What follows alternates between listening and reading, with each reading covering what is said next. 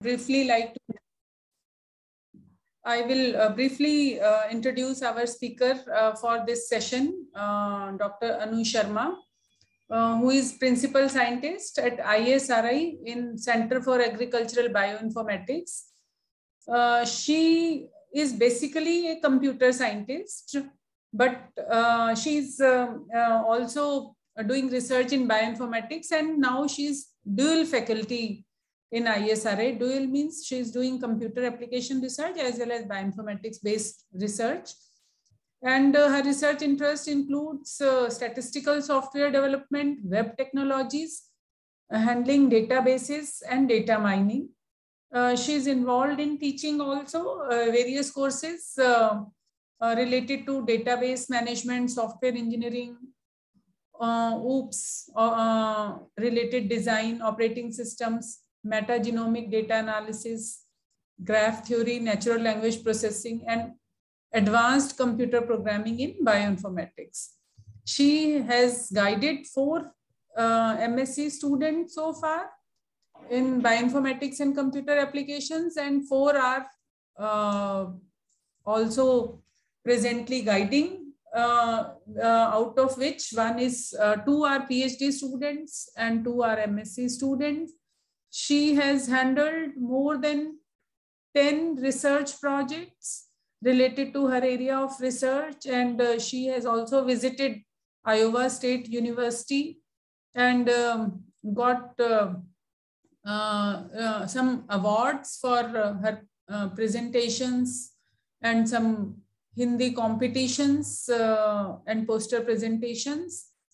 She has also been uh, session co-chair in MD University and uh, published in very renowned uh, research journals, uh, more than 30, 35 papers uh, she has published. So uh, we have invited her to give us a brief overview on bioinformatics. As you all know, bioinformatics is a emerging research area and uh, it is uh, some sense good as compared to uh, wet lab experiment of biotechnology. So how it is being used, what are various terms? Uh, so that will be explained by her. So I invite uh, Dr. Anu Sharma now uh, for her lecture on overview of bioinformatics. Dr. Anu Sharma. thank you, Dr. Rajni. And I'm highly thankful to you uh, for giving such a nice introduction. And, uh, thank you, ma'am. And uh, good morning to all the participants. Okay, so now I think we will start with the lecture. let me first share with you the presentation that I have prepared for this lecture.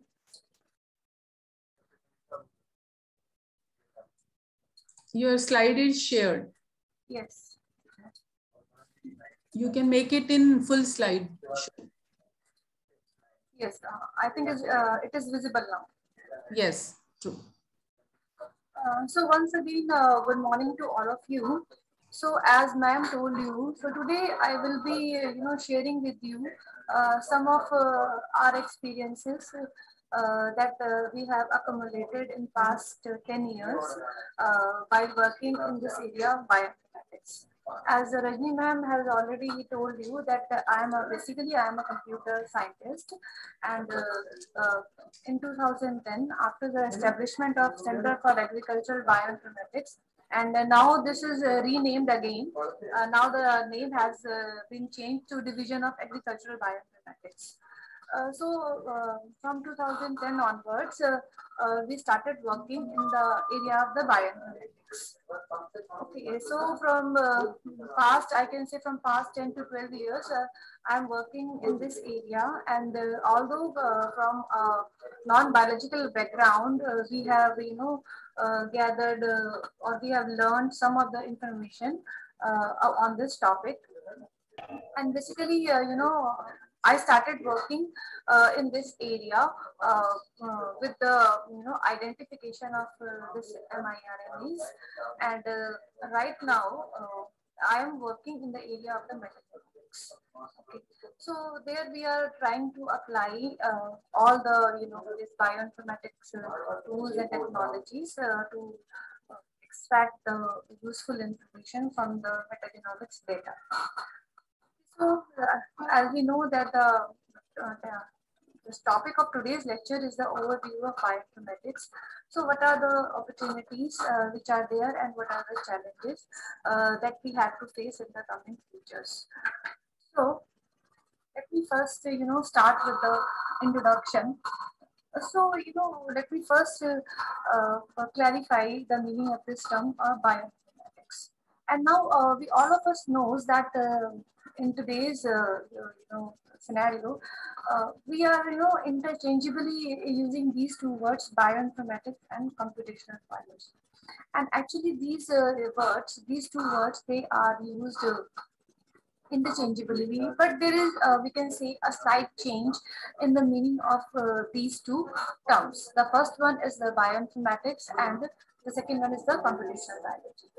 So, uh, you know, uh, the question, uh, one uh, thing that I would like to share with you is that okay, from the past few decades, the amount of biological information is increasing exponentially. So all of you, I think uh, uh, you must be very aware of the fact that the, a lot of sequence data is now generated.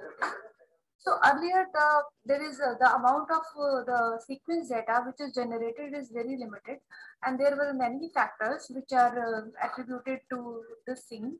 And one of the major factor was the high cost which was involved in sequencing of the uh, this biological data.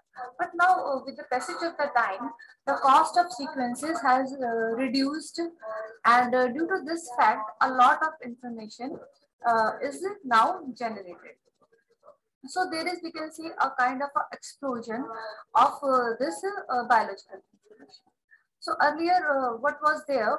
Earlier, we were uh, doing this uh, biological research mostly in the labs. But as uh, the amount of information that which is available to us, it, it grows, the need for handling such information, it arises. And if we go back, at the same time, there was a uh, you know, again, uh, in the parallel, uh, and parallelly, there was a, a, major developments that took place in the area of the computer science. And the same thing we can say about the computers that earlier the cost of the hardware was very high, so their usage was very limited. But as the cost of the hardware, it comes down, now it has become uh, very easy and uh, now all of us know that uh, all of us are uh, doing or using computers for most of our tasks. So, uh, so uh, these two parallel, you know, technological changes, they lead to the need of applying the concepts of computer science on the uh, data which is uh, generated from the biological sciences. So these two uh, things they combine together. All of you please mute yourself. All of you mute yourself. There is a problem. A lot of noise is coming at the background. Anu, you can continue. So these two, you know, these two parallel developments, they lead to the, uh, you know, development of uh, new uh, disciplines, which we call as the bioinformatics and another thing is the computational biology. So basically, what is the difference between uh, bioinformatics and computational biology? So in the case of uh, bioinformatics, we are applying so we can say it is a combination of biology and computer science. This is what we, and other uh, interdisciplines also. So this is their bioinformatics. And what is the computational biology? The computational biology is using the, this is the combination of computer science and biology. So basically this is the basic difference between computational biology and bioinformatics. So biologist who is specialized in the use of computational tools and system to answer the um, questions of the biology, they are known as the biologists.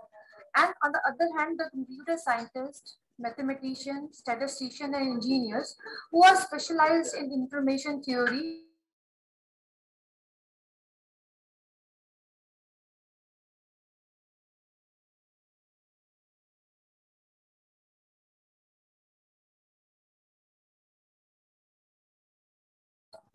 So uh, this is the difference between a computational biologist and a bioinformatician.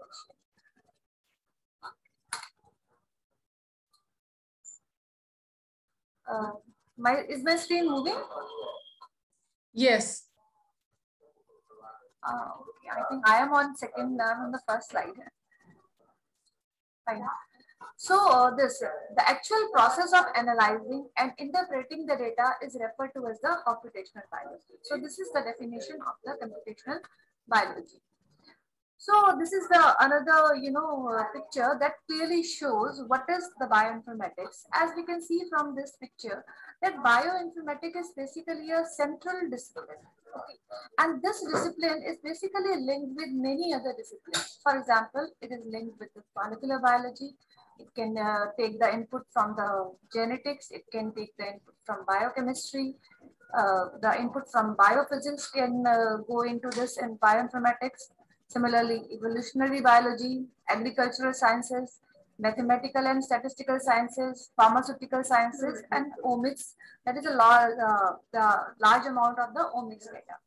So the bioinformatics here, it is at the center of all these disciplines and the data which is generated from the experimental, uh, from the experiments which are conducted in the, the different type of disciplines, uh, they can combine uh, in this new discipline, which is the bioinformatics.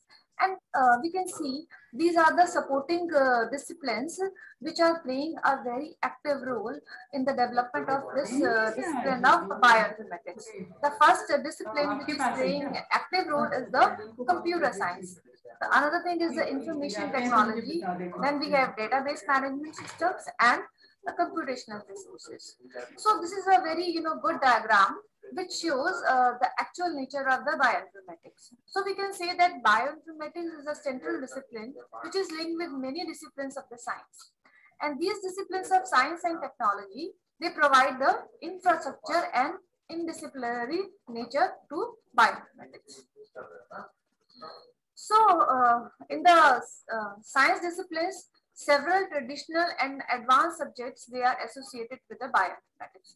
For example, uh, this plant sciences, it can be combined with bioinformatics, animal sciences, molecular biology, genetics, evolutionary biology, pharmaceuticals, mathematical and statistical sciences, and omic sciences. And besides, uh, in the support system, bioinformatics is now closely related with the other disciplines like computer science, information technology, computational resources, because and all these disciplines, they serve as the backbone for providing the uh, this discipline of bioinformatics. Uh, Anu, so, are yeah. you one minute, Anu? Are you uh, are you logged in with from two devices? Uh, yes, yes. I think uh, there is one more person, Jyotika. I have sent her link also because I think uh, if the time -huh. permits. Uh, but she is not in. She is not in your room, right? Yes, yes. She is not in my room. Okay, I thought it, the disturbance is coming because of that. Okay, okay, no issue. Oh, she is now muted? Uh, no, no, uh, that's fine. Uh, only thing is we are getting lots of disturbance. So but I, I, uh, I could not, I'm not seeing, uh, I'm not uh, listening any of the disturbance. For me, it's okay. Okay, okay, fine, fine. मुझे तो कोई आवाज नहीं आ रही है. ठीक है, ठीक है. Okay. Okay. So, hmm. It's fine. Uh, maybe uh, there, there are two devices in your system. In your room, sorry. Up mute them. Okay, okay. In my so, room, it is not. It's fine. Some participant must be having. I am requesting all the participant to please mute yourself. Therefore, these scientific disciplines and support system, they are combining to build a new discipline, uh, which is called as the bioinformatics, for decoding the intricate problems uh, which are linked to the biological systems. Okay, there are many problems which are, uh, you know, intrinsic to the biological systems only. So what we are doing here, we are applying these information technology, computer science, and mathematical sciences and statistical sciences to solve these problems in an innovative manner. Okay, uh, with the processing due to the involvement of computer science and IT. So there is a lot of development which took place in the area of computer science and IT. And now we are applying um, these uh, innovations uh, to uh, solve the problems which are intricate to the biological sciences. So let me take you uh, back to the history of bioinformatics. So this, you know, this term bioinformatics, it was first coined by a researcher, Paulien Hogeweg. Okay. And uh, this uh, term, it was first coined uh, very late back in the year of 1970. And, and uh, um, you know, after they used this word in the year 1970 and uh, in the 1978, this uh, paper, this word actually appears in a research paper, which is published by Paulien and Ben Hesper. And what they have done, they have performed some study they have performed the information processes of the bio, uh, this uh, biotic systems. They were working on this kind of research and there uh, what they felt that uh, these biotic systems they carry some kind of information and uh, uh, so they coined a new word bioinformatics but but still at that time the use of this term was not very frequent because at that time there were very limited amount of uh, biological data which was available. And on the similar line the uh, on the in the field of computer science also uh, there were uh, not uh, so many advancements. So this was the first you know use of this word bioinformatics by Paulien so again, uh, what led to this um, uh, this uh, evolution of this particular area of bioinformatics? Basically, it is uh, started early in the early years of 1960s. Uh, okay, with the you know um, some new inventions in the biological or life sciences. So this idea was generated that the macromolecules, all of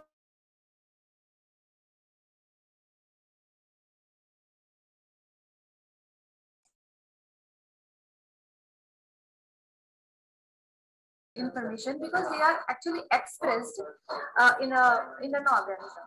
But later on, it was uh, they they found that uh, these uh, DNA, deoxyribose nucleic acid, and RNA, they also carry a very useful information. And there is a need to decode the information or to extract the information which is uh, uh, present there in the DNA and RNA. So earlier it was thought that DNA is nothing but it is the sequence of uh, four nucleotide characters like ATGC. But uh, you know the pattern of these ATGC it plays a very important role uh, in understanding some particular kind of uh, processes and uh, uh, um, this genetic information. So this idea was originated that the, these macromolecules like DNA and RNA, they carry very important information and there is a need to study this information.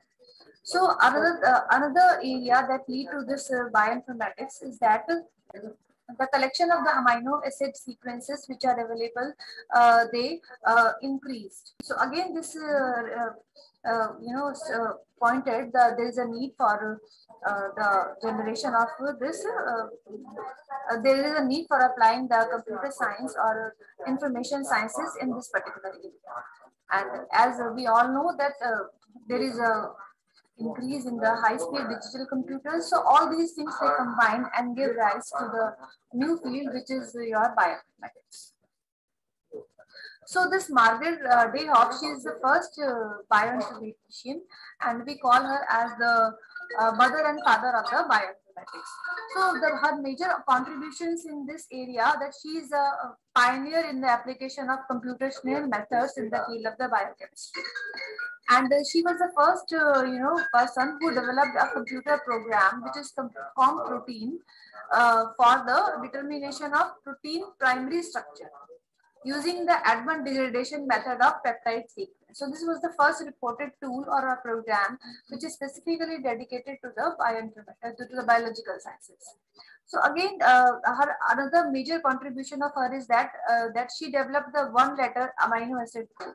So amino acid is basically represented by the three nucleotide sequences and she gave a one letter code uh, to the amino acid and this is a very popular code which is still we are using. And she is the one who published the Atlas of Protein Sequences and Structure in 1965. So this was a brief about the what is bioinformatics and what is the history of the bioinformatics. So now uh, we are living in the area of we can see uh, in silico uh, biology. If you look at this uh, you know picture, it is clearly shown that earlier what uh, we were doing, uh, we were performing all our these experiments and studies in the laboratory, and all the experiments that we were performing or doing in the laboratories, it leads to the generation of the a lot of data. And due to this, there was a need to store them in a uh, or need to store, process them and analyze them using the uh, computational methods. Okay. And again, when the computational methods, tools, specific tools, uh, they are available with us, it leads uh, it again aid to our experimental, uh, you know, uh, experiments that we are conducting in the lab. So there is this is a kind of a cycle that we have in the in nowadays. So uh, we uh, this uh, a lot of data which is generated from these biological experiments. It is now analyzed and processed in using the tools, and there are many tools, databases, and uh, uh, you know methods which are there and we are using all these methods to uh, find the, some new uh, you know innovative uh, uh, possible you know information and this information we can validate in our lab so, uh, so this is a kind of a cycle. So now we are living in the age of uh, in silico biology. So what we are doing before conducting the actual uh, wet lab experiments, we are, you know, uh, trying to, um, you know, do this in uh, in, in, in silico uh, on a computer system by using the available databases and tools. So we can say that the biology is now becoming a quantitative science and uh, there is a transformation from observational to experiment. So earlier what we were doing, we were just observing the something, uh, some process to identify some, info, to, to reach to some conclusions. And from observational, we moved on to the experimental part. And now this experimental part, it leads to the generation of a lot of data. So now we are applying, uh, you know, techniques of data sciences uh, in the uh, biological sciences. So uh, we can see, so there are uh, all these new discoveries. They require the large data set and advanced analytical methods. So this is one of the very, you know, uh, a great opportunity that exists in today's biological sciences that there is a great need of large data sets and advanced analytical method for processing of the biological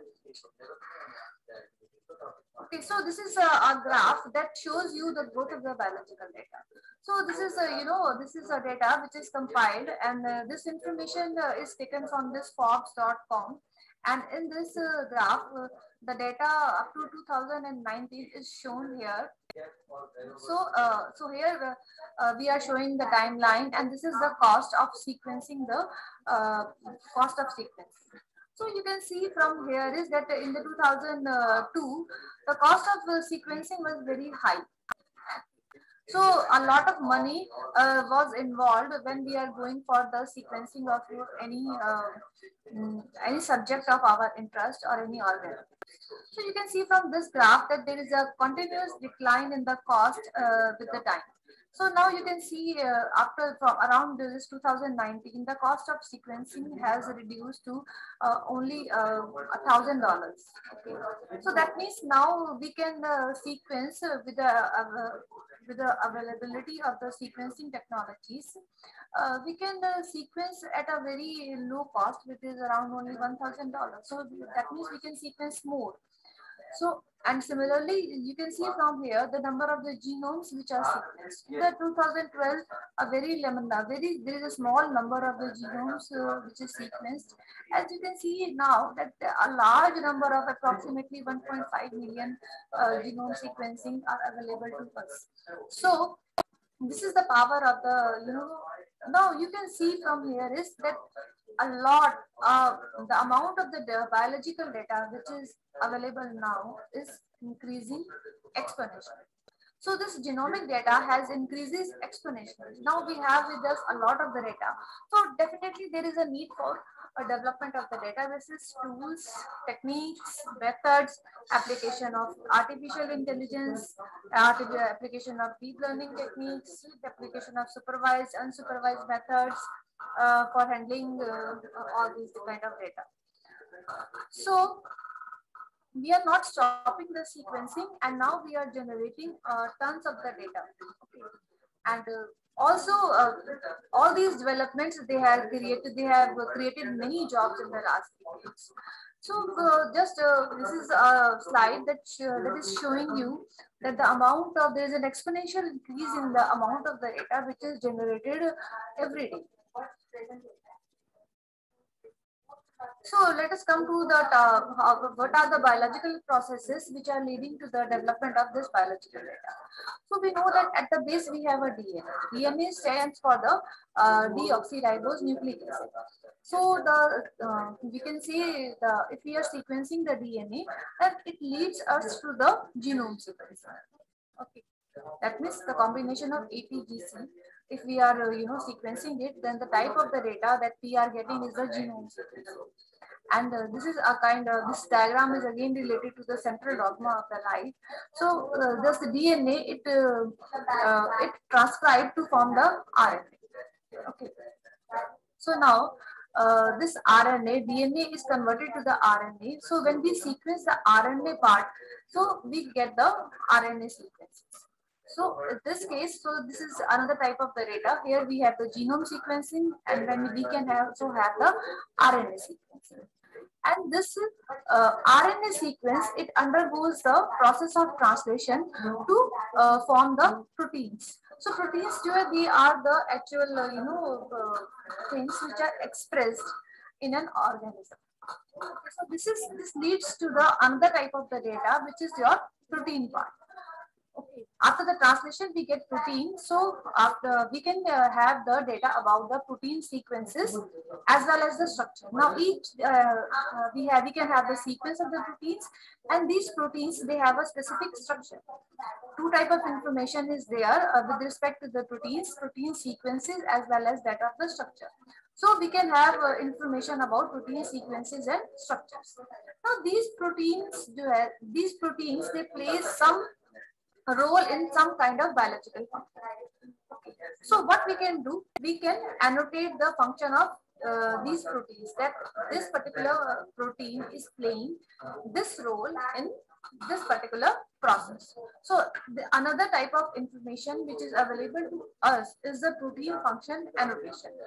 And also one protein, it might interact with another protein in uh, a particular in, in performing a one particular function. So this type of information can also be there. And another type of information might be a protein. It might interact with the DNA in uh, any of the uh, biological processes. So these are the various processes which are occurring within the organisms. And due to all these uh, biological processes, uh, different type of uh, information is generated at the DNA, uh, we are getting the genome sequencing. At the, you know, this RNA level, we are getting RNA sequencing. At the protein level, we are having the protein sequences and structures. And uh, then we are having the information about protein expression, protein function annotation, and protein protein and protein uh, DNA interaction.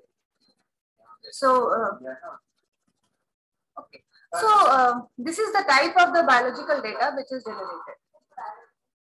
So in the previous slide, I told you about the various biological processes. So corresponding to those biological processes, the different type of uh, biological data uh, that we may have is the genomic data. It corresponds to the DNA sequences. Then we can have the proteomic data. Now this proteomic data, it is related to the protein sequences or protein structures, or we can have the pathway data uh, so this uh, data, it corresponds to the various pathways which are involved in a one particular uh, process. We can have the taxonomic data. Taxonomy is basically, you know, arrangements where the where we have categorized the organisms in a tree format. Okay. I think uh, most of us have studied this uh, taxonomic classification in the in our school days. Uh, so basically this type of data uh, is there in the biological sciences. And now, uh, you know, there's one more type of data which is available uh, is the metagenomics data. So again, this is a new field and uh, this uh, word metagenomics, it was coined by the Handelsman. So basically what is the difference between genomics and metagenomics is that in the genomics, we are merely concerned with single organism. Are studying about a single organism. For example, you, all of you might have heard about the Human Genome Project. So in that in that project, um, you know, the efforts were, you know, efforts were applied on sequencing of the human genome. Okay, so, uh, so this is the genomic data that we are uh, that we generated. Because here the only for a similar and similarly uh, a lot of data is now generated on different crops. Like we have the genomic data for wheat, rice, everything is uh, now available to us. Now, what is the difference between genomics and metagenomics? The difference is that in metagenomics, we take an environmental sample. For example, suppose we have, uh, you know, taken a sample of, you know, animal gut. Now, uh, all of us know a number of microorganisms, they are present in the human gut. And uh, for example, if you take the example of a human uh, uh, human in case of human also suppose uh, uh, what you have uh, done you are performing a kind of the biopsy and uh, you have, you took some uh, tissue sample. So in that tissue a number of microorganisms are present.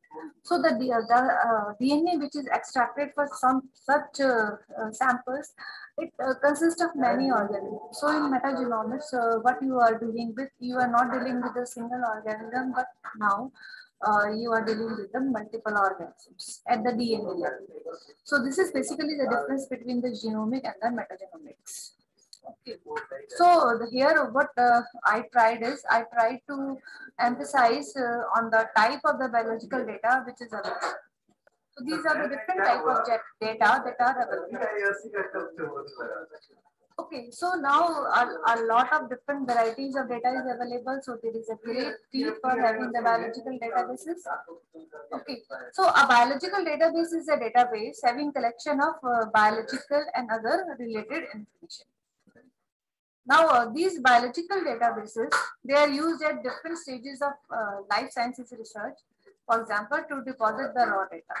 For example, uh, so whenever we are conducting an experiment and uh, some suppose new sequence is there, so what we can do, we can uh, submit that sequences in the available biological databases. Now the another need for this is to uh, store uh, an interpretation of the experiment. So this type of information can also goes into the biological databases. And uh, the results of the analysis processes, they can again become a part of the biological database. Now search for matching the structures and sequences. So again, this is a part of the biological databases. So this, uh, we can say that these databases, they are an important tool to assist the scientists and the researchers. So uh, a different, uh, we can, uh, we have seen that a lot of, uh, you know, a type of biological data is available and this has given rise to the uh, need for having the biological databases. So now, uh, based upon the uh, type of uh, the data which is available to us, uh, we, we have various types of databases uh, in case of your biological sciences. We have two types of databases. Uh, okay, the first one is the primary databases and another is the secondary databases. Now, what is the difference between primary database and secondary database? Now, this primary database is the sequence of nucleic acid or proteins. Okay. And what is the secondary database? It contains the results after the analysis of the primary data. If uh, on in this particular primary data, some kind of analysis is being applied, so the results that we got, they are stored in the secondary databases. So this is basically, this is a, you know, a process that shows the generation and dissemination of uh, databases. So here you can see that, uh, uh, suppose uh, mm, this is the biological experiment which is conducted. But of this experiment, it will lead to the generation of the data. And once the data is uh, available to us, it can be stored in the databases. Okay, it is stored. Now, this databases, they are now accessible through, you know, uh, web, uh, web uh, is accessible through websites, through a network and uh, uh, this client and server technologies. So we can access all these databases which are developed. So these biological databases, they are the, we can say, a special kind of databases which are there for, which are very specific to biological data so these are the different, uh, again, categories of biological databases. We have sequence database and structure database. So in this, uh, I, I, told you that uh, in proteins, uh, we have protein sequences. The proteins, they have sequences as well as the structure. So we have uh, uh, specifically designed databases which are dedicated for storing the structure of the database. So uh, if we come to the sequence database, uh, then the, this uh, sequence database is now again divided into the primary database and the secondary database. So the primary protein uh, database is your SwissProt. This is PIR and TrEMBL. So these are, you know, specific databases that we can access uh, to handle the uh, to uh, access the protein information. And if regarding this nucleic acid, we have the databases like GenBank, BDG, BJ, EMBL. And now you know, some kind, if we apply a kind of the processing on these uh, uh, primary databases, a new database is there, protein database is PDB is there, which is now a uh, which is again the sorry uh, the primary database of a structure of protein is your PDB and the SCOP and CATH these are the secondary databases okay and other uh, related to protein and other secondary databases related to protein they are Pfam, block and PROSITE. So this is uh, basically uh, an overview of categories of the biological databases. So uh, huge uh, database uh, of mainly sequencing the data pouring in from many genome sequencing projects. So data in, into these databases is coming from many sequencing projects. And these databases, they are a very important tool for the scientists and uh, researchers to understand and explain the biological phenomena. So you can see uh, here, uh, these are the biological databases. For example, we have a bibliographic database. It contains the information about the literature, okay, research papers which is available. An example of uh, this type of database is Medline and PubMed. And uh, another type of biological database is the taxonomic database. Now, this database contains the information, classification information, that uh, how a particular organism is classified in the uh, tree of life. So example is the taxonomy browser species 2000. These are some of the uh, examples of the taxonomic databases. Then we have nucleic acid databases. They contains the DNA information. And these are the very important databases uh, which are used by researchers and bioinformaticians. And uh, you know, the example of these databases uh, is NCBI, EMBL, and DDBJ. And another is the genomic databases, and they contains uh, information about the genes. After uh, you know uh, using the uh, this DNA information, we can get the information about the gene. And some examples of just gene level information is the Ensembl, uh, EcoSeq, Flybase. And uh, we have the protein databases, which contains the information about the proteins. And examples are UniProt and SwissProt and the biological databases dealing with protein families, domain and functional sites. Uh, and this databases, they contains uh, information about the classification of proteins, identifying domains, and examples are PROSITE, PFAM, and PRINTS. And the biological databases, which deals with enzymes and metabolic pathways, is KEGG. This is again a very important uh, database, which is used, I think, almost by every bioinformatician. So these are the, you know, uh, databases which are invariably used by all the researchers uh, which who are working in this area of bioinformatics. So this is basically, uh, here I am trying to show is you the NCBI uh, database. This is developed by the National Center for Biotechnology Information uh, in the USA. So what is there in the worldwide, uh, these, we have three main uh, nucleotide databases, maintaining agencies. The first one is the NCBI. So you can see uh, here uh, that uh, this website, it contains the information, genomic information. Okay, so here you can submit your data, you can download the data, you can download the API, you can analyze the data. Okay, a, a lot many options are available here the, uh, from this NCBI website. Now, uh, we have another website, which is uh, your EMBL website.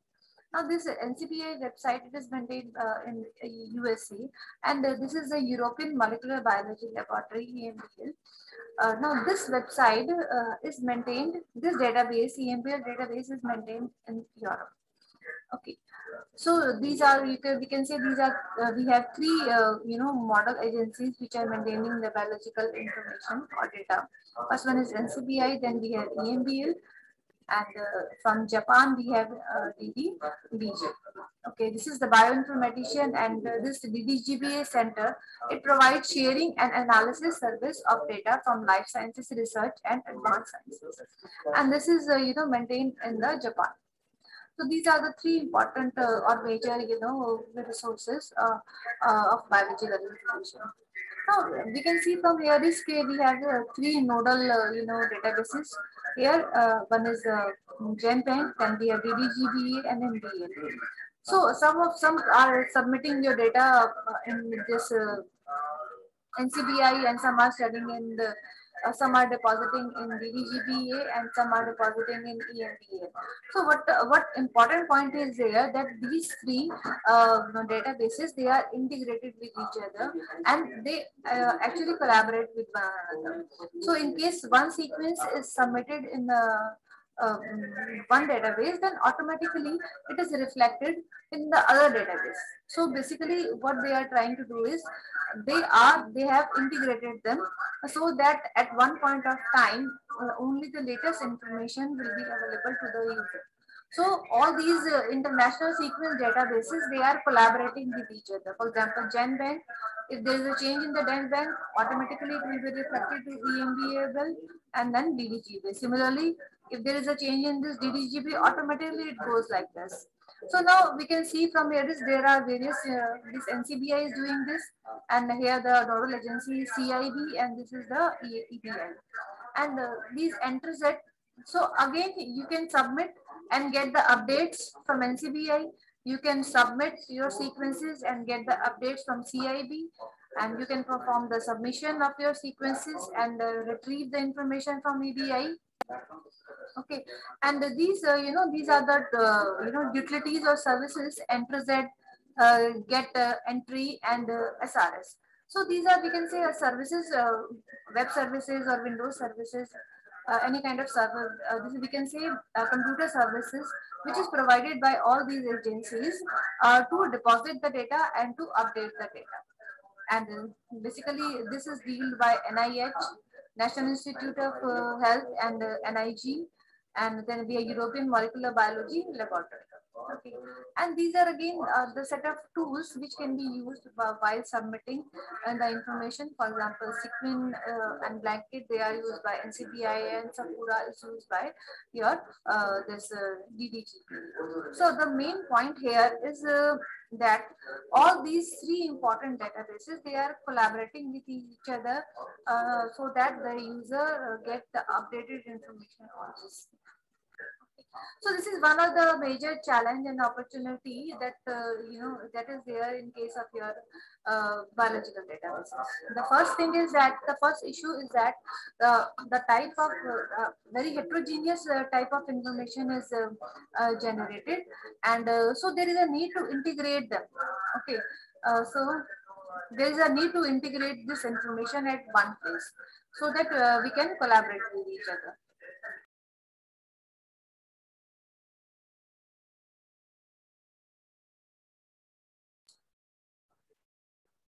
Okay, so there is a need uh, for the collaboration. So there is a, there is a collaboration of all these uh, international sequence databases.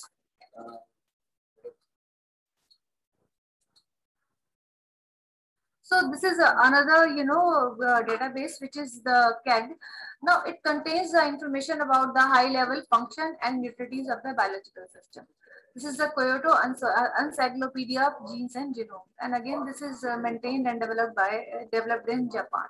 So this is again a very important database which is available to the bioinformaticians uh, to carry out their task. So these are some of the important databases that I've shared with you. So we can see the type of the information is uh, very different uh, in these databases and also different type of databases are developed at different point of time. So one of the issue is there that there is a need for integrating the databases. This we have uh, uh, discussed. So these are some of the issues and challenges which are there. So we can see that data generation is there at many places, but they are not connected with each other. So there is a need uh, to provide a single point access to all the biological information which is being generated and multiple comparison issues. So uh, this is again a very important issue. Uh, okay, suppose uh, we are performing a, mm, a comparison with the one database.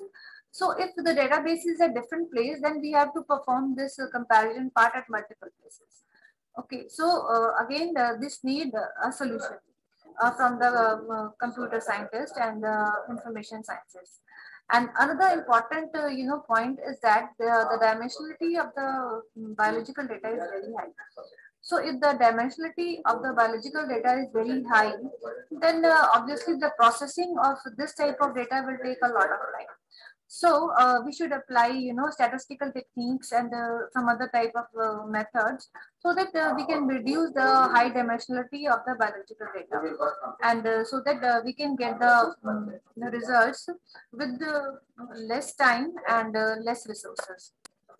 Another thing is the currently the high throughput sequencing technologies which are generating this biological data, they have, you know, they have many noise which is associated with it. So uh, due to the presence of noise in this uh, sequencing data, the results that we are getting, they are, uh, you know, somewhat not uh, that much accurate. So we, they, we need uh, some kind of techniques so that we can, you know, deal with the noise which is there, there in the high throughput biological data. So another issue that needs to deal is the integration of multiple heterogeneous biological databases. So these are some of the issues and challenges which are there in case of the biological databases. So uh, I, you know, I discussed about this uh, metagenomics part. Uh, yes. So uh, again, uh, again, I will, uh, you know, emphasize on this metagenomics part. So from now we have moved from genomics to the metagenomics. So in this genomics, it's started with the, you know, a sequencing of uh, this E. coli in 1997 and uh, in 2001 the human genome was sequenced. So here what we were, uh, uh we were uh, dealing only with the single genome. Okay, but now what is there in case of uh, metagenomics? We are now we are now dealing with the multiple organisms. For example, suppose you can take the sample from the water or you can take the sample from the soil and uh, as we all know that um, there are number of microorganisms which are there in this uh, water and uh, for example we can take the sample from human gut. So number of the organism is uh, more than or we can say thousands. So this is uh, the uh, metagenomics part of this so what is metagenomics? It is the study of genetic material which is recovered directly from the environment. So metagenomics is the application of uh, modern genomic techniques to the study of communities of uh, microbial organisms directly in their natural environment. For example, we are taking the uh, sample uh, from the human gut and then we are going for the sequencing of it. So we are bypassing the need for the isolation and lab cultivation of the individual species. So this is a relatively a new area of the research uh, in the bioinformatics Okay, so uh, this is the metagenomic analysis. Suppose, uh, you know, we took this soil sample so, and we perform the sequencing of it. So after the sequencing, we get something like uh, this ATGC, ATGC. So once this sequence information is available to us, then we have to move on to the assembly. Okay, now this assembly, uh, after the assembly of uh, this sequencing data, we can uh, have with us the contigs and scaffold. And once uh, we have with us the contigs and scaffold, then we can move on uh, for the taxonomic characterization. For example, this first one, it belongs, uh, now I have shown, earlier all were shown in the black color. Now I have marked some of them in the red color and some in the, uh, in the blue color and some in the uh, green color. So that means they are now different from each other. In case of genomics, all are from the single color, that they are from the single organism. But now you can see uh, uh, that this might show that the sample, it may contain uh, three organisms. The red, uh, you know, sequence, it represents one uh, organism, and this uh, green one, it represents the another organism, and the blue one, it represents the uh, different kind of organisms. And once we uh, have done this taxonomic characterization, then we can perform the things like annotation, uh, gene prediction, functional annotation, and process level annotation using the databases. So this is the metagenomics part. So uh, this is the these are the basic you know tasks that we want to perform uh, during any metagenomics data analysis. The first point of interest is that we want to know that uh, who is there. That means uh, which organism is present in the sample. Okay. Once uh, we know that this particular organism is present in the sample, the next thing is that uh, we have to find out what they are doing. Okay, so this, this basically deals with the functional profiling.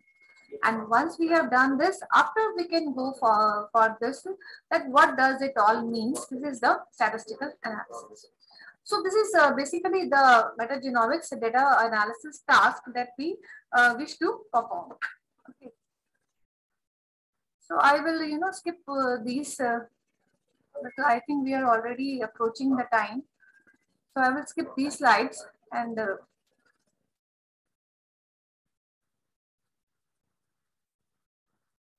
Okay, so this is just uh, one work that I would like to share with you that we have performed a computational com uh, comparison of metagenome assemblers which are available.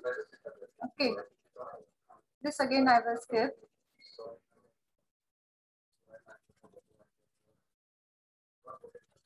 So now I will uh, discuss, uh, I would like to share with you that, uh, you know, a lot of uh, information is, uh, biological information is now developed and uh, to deal and to, to deal with this kind of biological information, Ashoka, a supercomputing hub for omic knowledge in agriculture is established at ICAR IASRI. Okay, and this facility is available to all the researchers uh, in the National Agricultural uh, Research Systems, and they can uh, use this facility to analyze their biological data. Okay, so this Ashoka is the, you know, grid. This is uh, for supporting the biotechnological research in the agriculture. Now this hub, it consists of a hybrid hardware architecture of Linux and Windows cluster. And this is distributed over six national institutions across the country to form the National Agricultural Bioinformatics Grid. So this is basically the configuration of the Ashoka. That it now consists of 30 node Linux cluster with two master, 16 nodes Hadoop cluster with one master, 16 node GP GPU cluster with one master, one SMP of 60 cores with 1.5 terabyte RAM, and one SMP of 128 cores with uh, 1.5 terabyte RAM. Then uh, a lot, uh, a number of uh, web applications and databases, they are installed on this server. And now in order to access uh, this particular Ashoka facility, one biocomputing portal is also developed at ICAR IASRI. Now users, uh, they can, uh, you know, uh, uh, get an account, they can create an account on this uh, biocomputing portal and then they can perform, you know, various type of analysis, biological analysis part they can perform. So uh, you know, it provides various type of services. For example, application services it is providing, the grid information services they are provided, user authentication services, data management services, and email notification.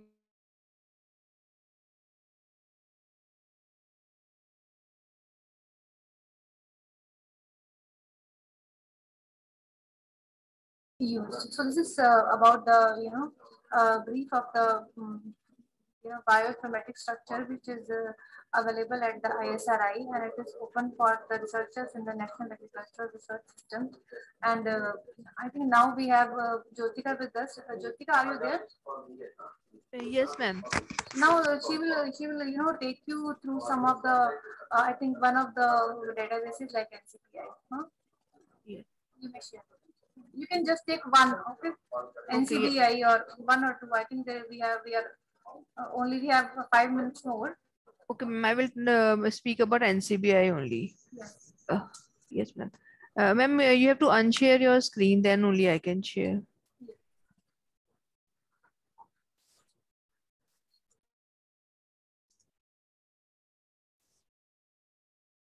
Uh, so this is one of the uh, main database, NCBI, National Center for Biological Information. It has been run by um, US. Uh, this is a, a main primary uh, database, database and uh, um, it has uh, another n number of databases concerning with the assembled data, the, uh, the one that uh, we receive after sequencing, the assembly files, uh, bio collections, some uh, projects, the assembly projects, uh, few biosamples, the database on few biosamples.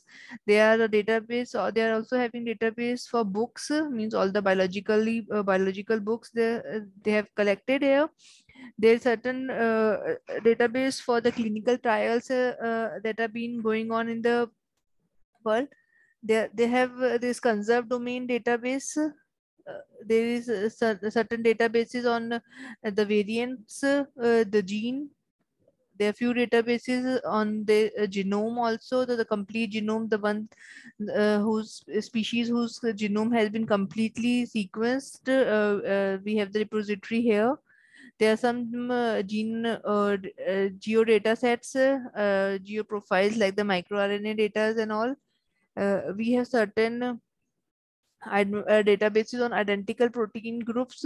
So this NCBI has a, a, long list of databases, means these all we can consider as a uh, secondary databases to the sequences that we are generating here. The nucleotide databases here, here the protein databases are here, and uh, the um, the literature database PubMed is over here. Uh, there are uh, various databases on uh, the variant callings like SNPs, uh, and uh, we have our fast FASTQ files in SRA, the sequence retrieval archive, in which we store the sequencing data. Also, there is a database on structure of proteins, the ligands.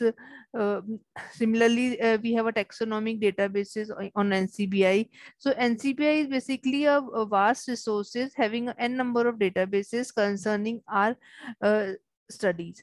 So uh, like we can go for the uh, this uh, nucleotide databases uh, uh, we can if you need to search some nucleotide concerning suppose we are going for rice we can write the uh, biological name for rice and then we can just have to click on search. We will get the list of all the nucleotides that are available in our rice species so this uh, gives a count about 29 lakh uh, nucleotides have been available in this uh, um, database for rice.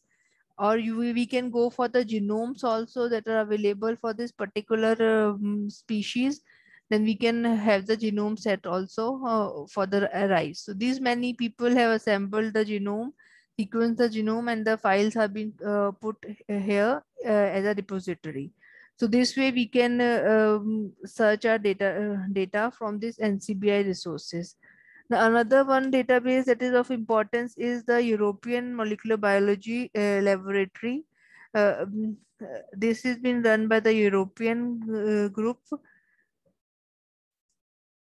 Here also we have data concerning with the nucleotides, the proteins, uh, and if we can search it out here, like we, if you click on this DNA and RNA, they have structures, uh, database on structures, database on ontology, means the annotation of the uh, annotation part, the gene expression, means the microarrays and uh, everything is here. There is a, a, chemical biology database also. So proteins are here, literature is there, system biology database is here, the domain databases is here. So suppose we go for the uh, DNA and RNA, and we can see n number of resources over here. There are few tools that could be used to analyze our databases. Like this is the homology search tool, BLAST, basic local uh, alignment search tool. Uh, similarly, this, this is a multiple sequence alignment tool. Means uh, these databases are also have also having the tools uh, which we can use for our analysis part also. And similarly the data resources are available over here and you can just uh, go and search the desired results. Now another database that ma'am told was about ddbj the dna data bank of japan. All these three databases ncbi embl and ddbj are interconnected. uh, means this the sequ sequence in one database is also present in another two databases. So the, these could be easily uh, checked. The another database uh, that is uh, uh, there is UniProt. This is also a, a widely used database uh, for the proteins. It, it, basically has the integration of two databases, SwissProt and EMBL. So uh, we can uh, search here for any protein like uh, whatever you want to search, we can search it over here and we'll get, get we will get a list of uh, proteins from all the species, uh, whichever are present or you can filter out a search based upon the species. Like if we only want for rice, we can click here for rice. So we are getting only the kinases that are present in our rice species. Similarly, there is a um, Ensembl genome. This is a plant database. Uh, sorry, this is animal data, animal mammals database. Here we can search for uh, all the data information regarding the mammal. Suppose if anybody wants to go for human, then we can go and search out for human. We will get the uh, results from here. Similarly, we can go, uh, there is a mm, specific database called Ensembl plants that is basically only for plant species. We can suppose we, we want a Arabidopsis data for Arabidopsis thaliana. We click on Arabidopsis thaliana and here we can go out to download the DNA sequences in FASTA format or you can go and uh, uh, download your genes, cDNA, non-coding RNAs, proteins, your annotation file in GFF3 format.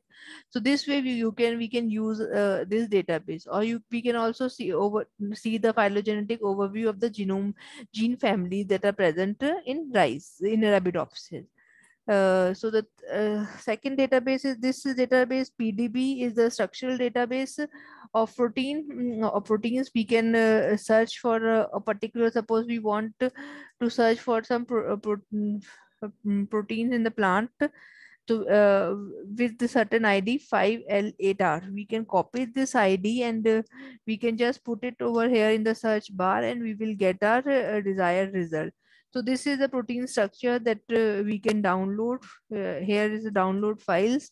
We can download this uh, in a primary sequence format, means the FASTA format, or in the secondary PDB format, the structural format. So these are the various formats depending upon the tool that we are using. We can download the um, uh, this structure in that particular format. So if you uh, we just want to overlook about the structure, we can just click on the 3D view of the structure. And this will generate our uh, structure. This is a sequence, the primary uh, part, and mm, this is our uh, protein structure. So this is a meshy of structure with alpha sheet, beta, uh, alpha helix, beta sheets, uh, and a uh, few loops are there uh, there are a few bond bonds that have been shown, the hydrogen bonds and the van der Waals forces, everything is there in this particular structure. So this is about the structural databases. There is one more database, Interpro, which is for the classification of protein families. Uh, we can look out for the pro uh, protein family. Suppose by we need to search out for the proteins, we can uh, see uh, these are the proteins domains that are present in, in these particular species. And we can similarly um, check out for different different uh, databases like there's a list in interpro database we have uh, this number of uh, data in the cath gene 3d database we have this number of database uh, data. So this files uh, there is a list of all the databases of uh, the protein families where we we can see the cr results. Like super families are there. Smart is one of the database for the protein families. PROSITE prints pfam all these ma'am has already discussed with you. These are all the examples database for the protein domains. So in this interpro pro we get all the uh, data concerning the uh, protein data uh, domains. So the, uh, these are basically uh, the protein database uh, bases uh, that we can have. So th these are few um, mainly used databases in bioinformatics.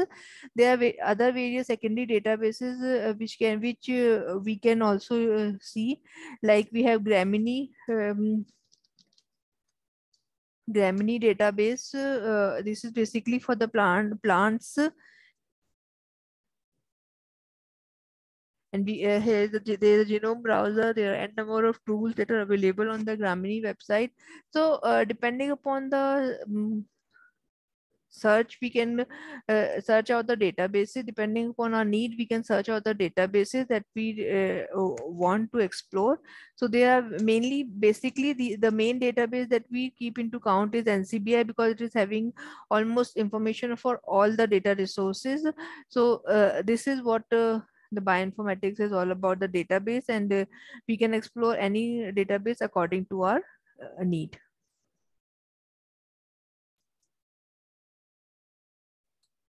Thank you, Jyotika.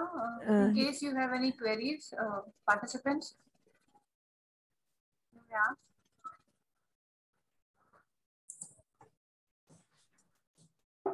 Thank you, ma'am, for giving excellent presentation. Uh, if anyone want to ask sir, please.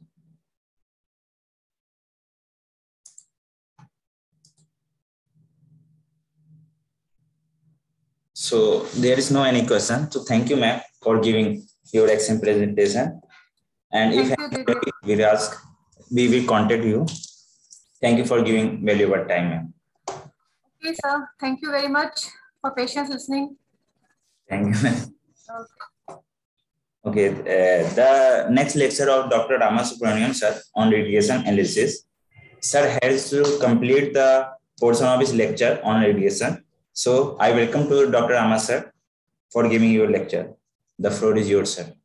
Okay, thank you, Dr. Dilip. Uh, I hope I am audible to all. Yes, sir. Yes, sir. Okay. So now uh, let us continue with the discussion on uh, this dummy variable indicator variable on the uh, main or different variable side. That is logit and probit. When the uh, study variable or the main variable or the dependent variable is uh, categorical, then we cannot go for the usual multiple linear. We have to go for this logistic regression. So to set the stage, let us uh, first let me share my screen. So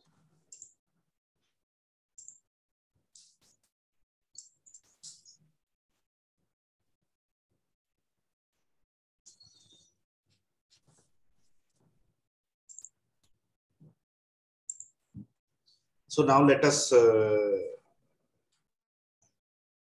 see what things will be covered in this one hour lecture.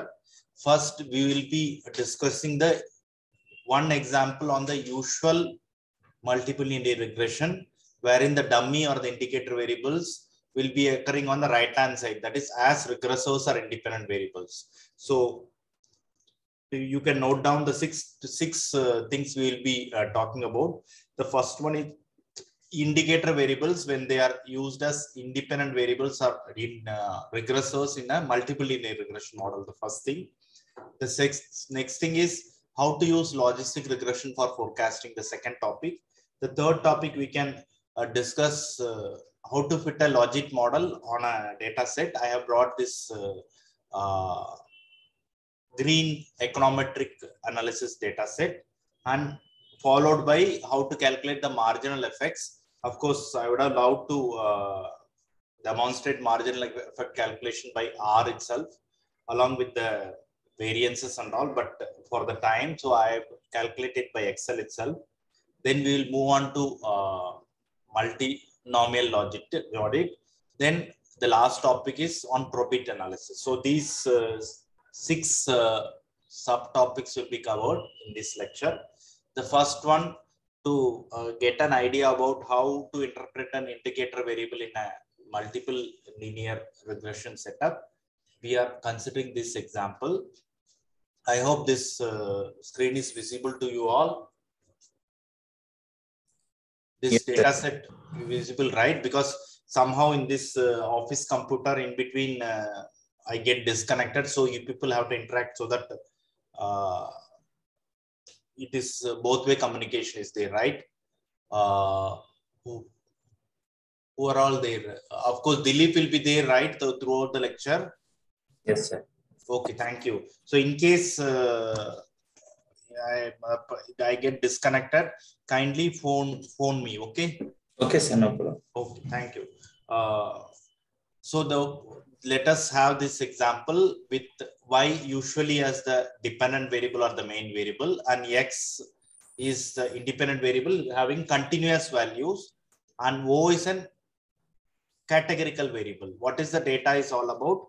The data is y you consider as the weight of poultry birds in some units and x is the age in weeks so even though i am i have written age in weeks uh, there is there are no decimals. Let us consider it as continuous variable so no problem. No need of uh, bringing in indicator variables. And o is something like origin from where these poultry birds have been reared. Uh, so g stands for georgia b stands for virginia and w stands for wisconsin. So let us have three origins from where these poultry birds have been reared. So we are going to uh, fit a multiple linear regression model taking y as the dependent variable, x and uh, o are as independent variables. x is continuous, o is categorical. So because it is categorical, we are bringing in the indicator variable concept here. So uh, people have understood uh, about this data set. Any response? Yes, sir. So by name should I call?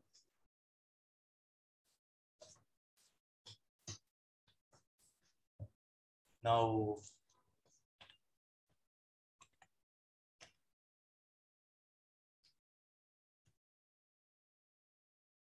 Who is there?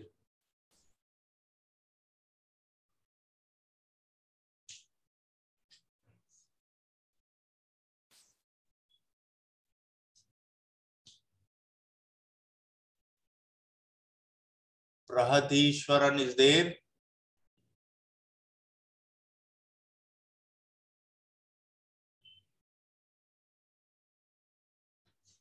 Sujit Sarkar. Nobody is responding.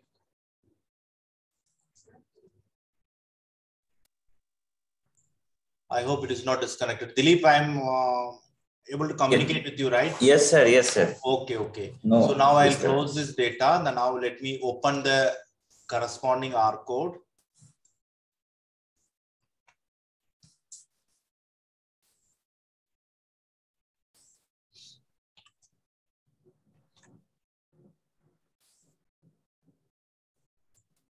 The same file we are reading. So this uh, the same data set y weight x is age and o is the origin from where those poultry birds have been reared. So uh, 13 data observations are there. The first one is just number. We are not going to use it so i am uh, taking it out from the data. So minus one. First column i am deleting. So then we are going to fit a again linear model only. We are not talking about logit or probit. We are talking a multiple linear regression model with y as dependent, x is continuous, and note that O is categorical, but we are introducing into the model. So how we are going to do that?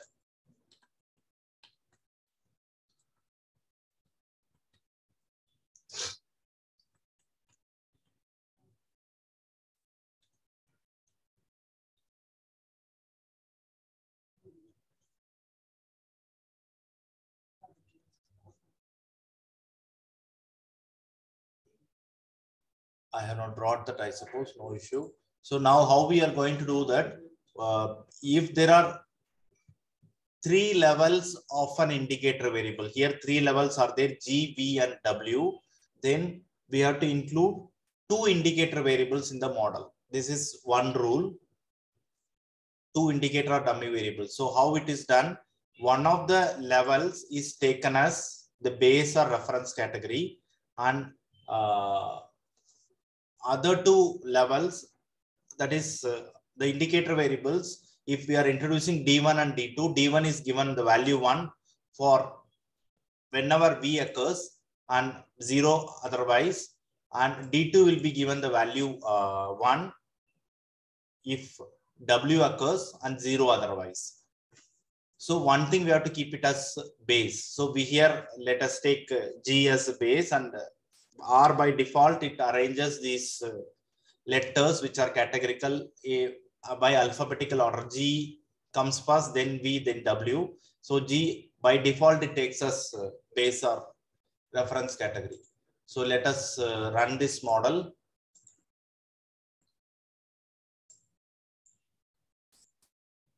So we have got this uh, before us. you see, G has been taken as reference category with which we will be comparing. So that's why both the indicator variables, here it is written V and W. So rather it is, let us consider as D1 and D2. D1 is for the first dummy variable, indicator variable, D2 for second dummy variable. Why it is written V and W? Because whenever V is occurring, it will always be 1. D1 will be always 1. Whenever W is occurring, D2 will always be one, zero otherwise. So this is the setup which, so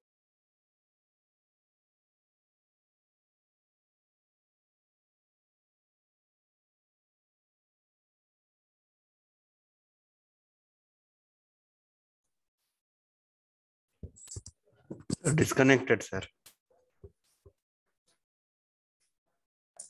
Wait, I am calling.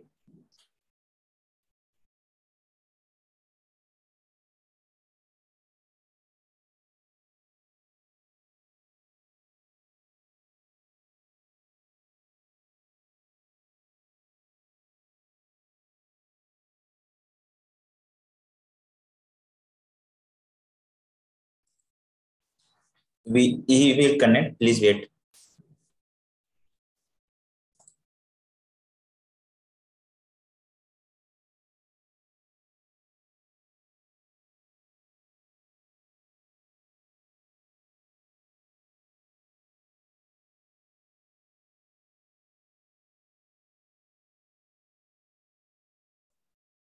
okay.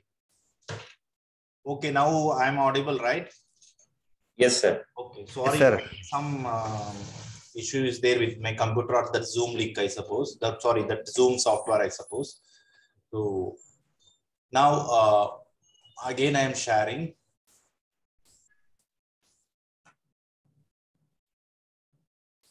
So we were discussing about uh, this. I told this uh, when there are three levels of an indicator variable, then two indicator variables have to be introduced. The first one we have taken as the base category G, and two indicator variables are D1 and D2. Whenever uh, V occurs, then D1 T will take always the value 1, 0 otherwise. Whenever W occurs, D2 will take always the value 1 and 0 otherwise. Like that it goes. Now, uh, we can change the reference level. You see, re level, reference level to something else as well. Say if W instead of G, we can change it to W as well. So if you are changing that, again, we are seeing the contrast you can see. Now W has been taken as the reference level and G and V are coming. G and V are coming in that alphabetical order. So uh, earlier we have fitted a model by taking G as the reference level. So let us see the results. So these are the results. So now uh, this X is nothing but continuous. This is intercept, X is continuous. So the same interpretation goes. X is nothing but age. So average change in the weight of uh, the poultry bird when uh, X changes by one, one unit. Here it X is in age in weeks. So one week it is changed. Then the increased, then the corresponding uh, average change in the weight of bird will be increased by 0.48 units of that weight. So agreed that that is a regression definition, right? Average change in y per unit change in x. Because x is continuous, we uh, we are talking in terms of per unit. But in case of this categorical variable, how we interpret, we always refer to the base or reference level. What reference level we have kept? G as the reference level, Georgia, that location as a reference level. So when the rearing of the bird, poultry bird, origin of the rearing of the bird changes from the Georgia origin to Virginia origin, the weight of the bird is decreased by 0.27 units. That is interpretation. And this is what?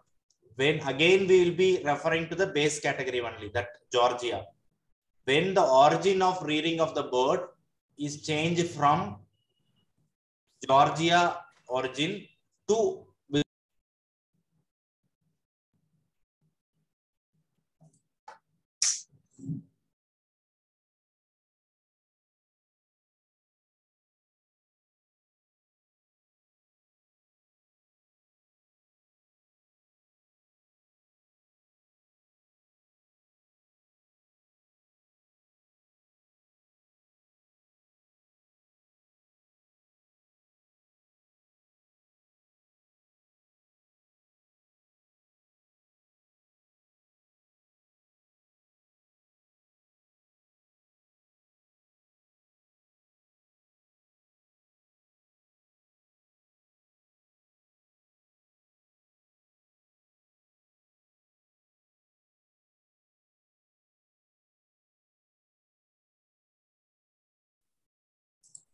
very sorry.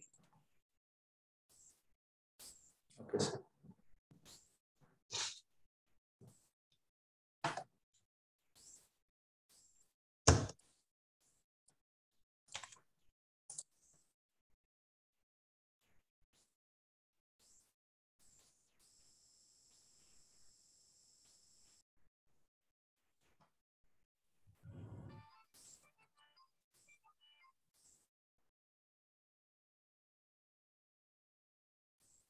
So we were here. So where were we? We, we were interpreting this uh, continuous uh, variable quotient, right? Dilip, where, where were we? Yes, sir. Sir, uh, we are, ex- you were explaining it minus value of the difference in the place where we reduce, uh, we get a change, there will be change in weight with minus 0.27. When it comes to zero W, it will be maybe, it will be increasing 1.91 But increasing when as compared to the if it would have been read in Georgia. Georgia. You will always have that base category as uh, Georgia origin. And if you are changing the place of rearing of the bird, then it is increased by the weight of the birds will increase by 1.91 units. So this is the interpretation. Now, once we have changed the contrast into W reference and again running the model,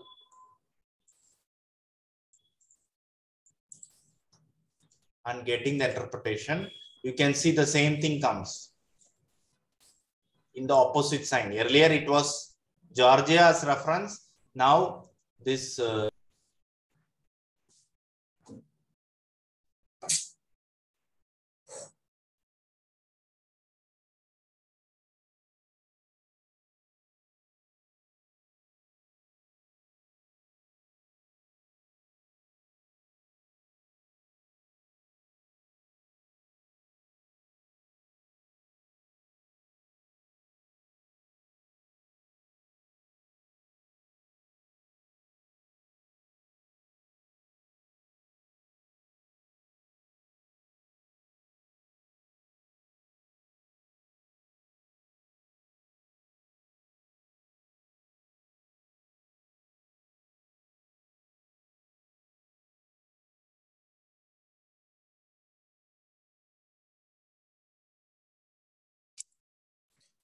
Hello, everyone. Uh, there is some technical issue.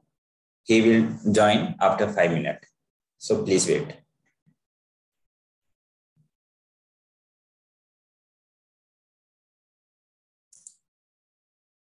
He will join with another system.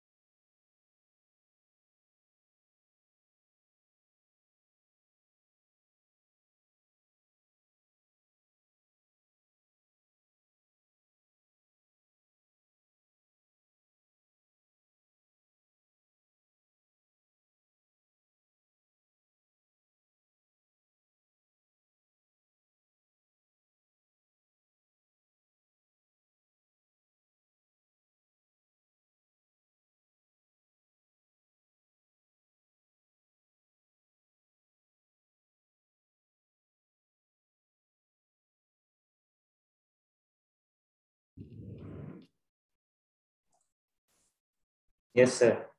Okay, sorry. That is for this. Uh, Now you can start, sir. okay, thank you.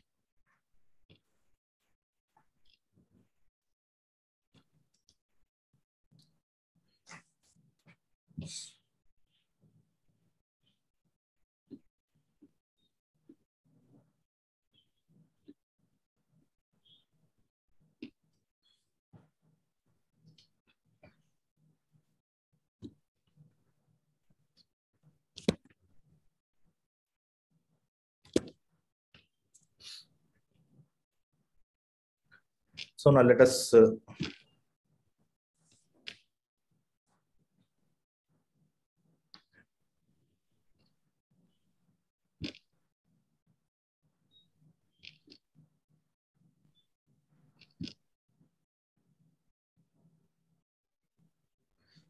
So that indicator uh, variable example, let us uh, jump.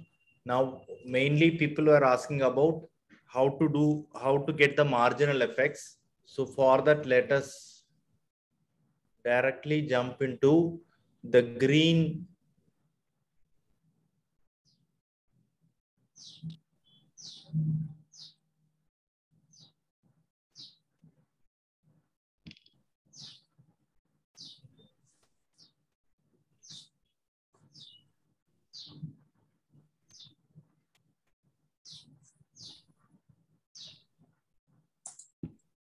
So this is the data set taken from this econometric analysis book Greene.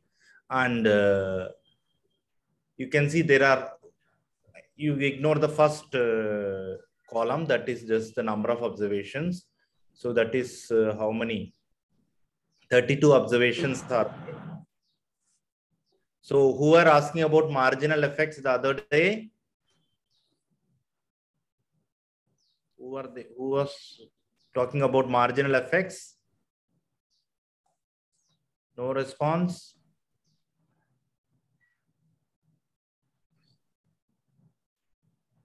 I'm I am audible, right, Dilip?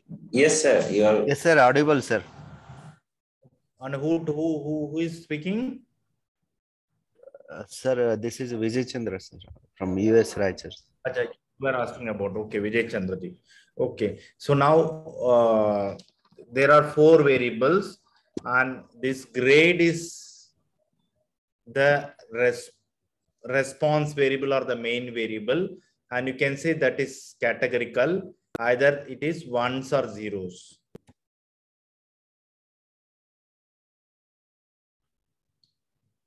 And these are the three independent variables. And independent variables also we can see two continuous and one discrete or categorical.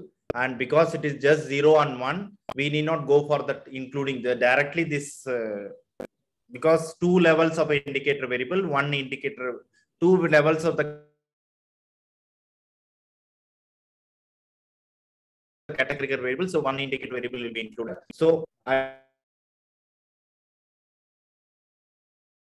either included. So P either say itself will act as an indicator variable. So, so now a log model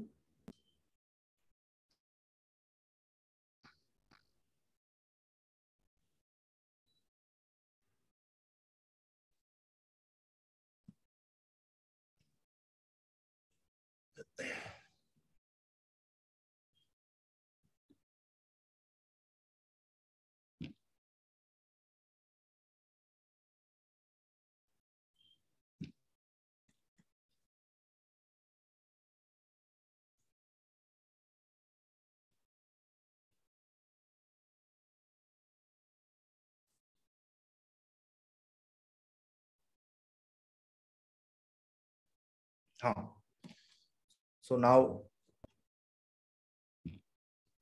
so this is the table which has been given in that Greene book uh, with variables as GPA, TUCE and PSI. And of course, grade is the dependent variable which is categorical. And just you fit a linear model, uh, th that is multiple linear regression model, these are the questions intercept plus other regression quotient. Slope, you can see as such, it is same because direct interpretation.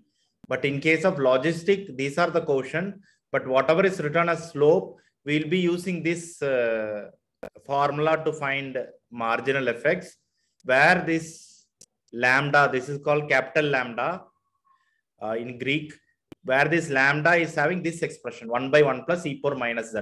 And z will look like z is nothing but beta 0 plus beta 1 x1 plus beta 2 x2 plus beta 3 x3.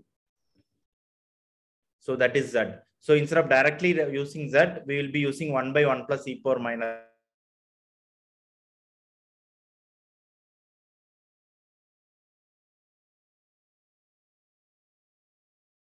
that for this lambda expression, 1 minus of the same expression. The average, average of the TUCE, average of the PSI. Take the average and that will use as use these 2.8. So now first we should get these uh, quotients right. For, for that, let us uh, run a program. So